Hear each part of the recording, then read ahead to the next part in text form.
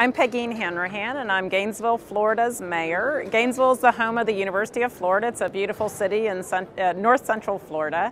And uh, since the late 90s, we have been working on addressing uh, climate issues, but really everything we've done has had other exciting benefits related to uh, improving quality of life. For example, we're synchronizing, resynchronizing all of our traffic lights and it will speed travel through town by 10 or 15 percent while also reducing tailpipe emissions. We're uh, building a new biomass-based power plant that will run off the waste wood from the forestry industry that is currently burned in the field without any pollution control equipment. And it will help sustain forestry and agriculture in our area and provide those jobs.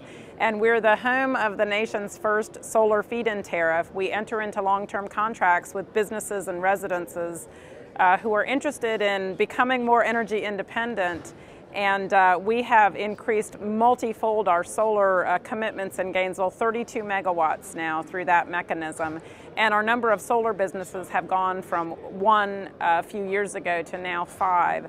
Uh, we are intending to meet our uh, commitment under the U.S. Uh, Conference of Mayors Climate Protection Agreement that we made in 2005 to reduce greenhouse gases in Gainesville throughout our community by 7% below 1990 levels by the year 2013, and we are on track to do that. Uh, if you'd like to see that report, you can go to gru.com.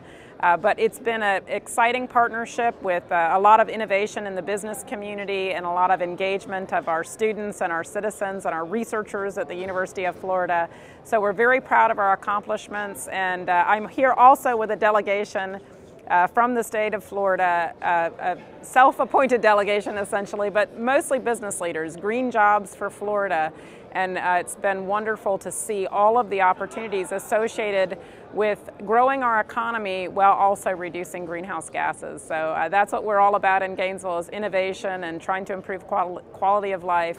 And it's been wonderful to have the partnerships with the Obama administration through energy conservation block grants and uh, tax credits in the uh, Recovery Act and just accessibility to the kinds of resources that we need at all of the federal agencies. So uh, we're looking forward to continuing to live up to our climate obligation and we certainly expect that other local governments will do the same in order to implement our national and international needs to meet this uh, crisis of our time.